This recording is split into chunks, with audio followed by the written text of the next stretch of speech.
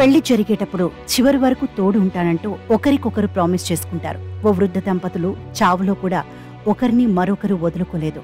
ఆ వృద్ధ దంపతులది యాభై ఏళ్ళ వైవాహిక జీవితం. ఎప్పుడో నర్సరీలో ఉన్నప్పుడు కలుసుకున్నారు. ఆ తర్వాత పెద్దయ్యాక భార్యాభర్తలుగా మారారు. పిల్లల్ని కన్నారు. సంపూర్ణ జీవితం గడిపారు. జీవితం ఎప్పుడూ ఒకేలా ఉండదు. వారి జీవితంలోనూ చీకటి ప్రవేశించింది.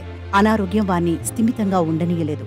పరిస్థితి మెరుగవుతుందని ఆశ కూడా లేదు. అందుకే వారు కారుణ్య మరణం ఎంచుకున్నారు. జీవితాంతం కలిసిన ఆ జంట చివరకు జూన్ మూడున ఒకేసారి తుది శ్వాస విడిచారు. నెదర్లాండ్స్లో వెలుగు చూసిన ఈ ఘటన ప్రస్తుతం నెట్టింట వైరల్ అవుతోంది జాన్ అనే వ్యక్తి ఒకప్పుడు స్పోర్ట్స్ కోచ్గా పనిచేశారు. ఆయన భార్య జెయిన్ ప్రైమరీ స్కూల్ టీచర్. రెండు వేల మూడులో వారి జీవితం అనూహ్య మలుపు తిరిగింది. వెన్నెముక శస్త్రచికిత్స తర్వాత ఆయన కదలలేకపోయాడు. చివరకు చక్రాల కుర్చీకే పరిమితమైపోయాడు. వృద్ధాప్యం కారణంగా జైన్కు మతిమరుపు మొదలైంది. రాను రాను తీవ్ర రూపం దాలుస్తూ తన అస్తిత్వాన్ని మర్చిపోయే పరిస్థితి వచ్చి పడింది.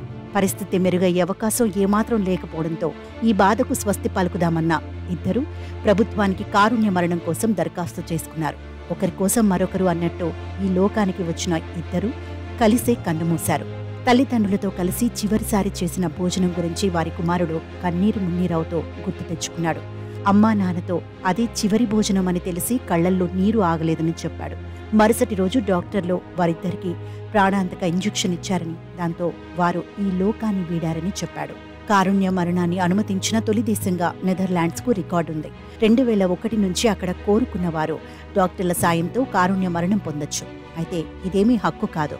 దరఖాస్తుదారుల నేపథ్యం అంతా పరిశీలించాకే ప్రభుత్వం దీనికి అనుమతినిస్తుంది.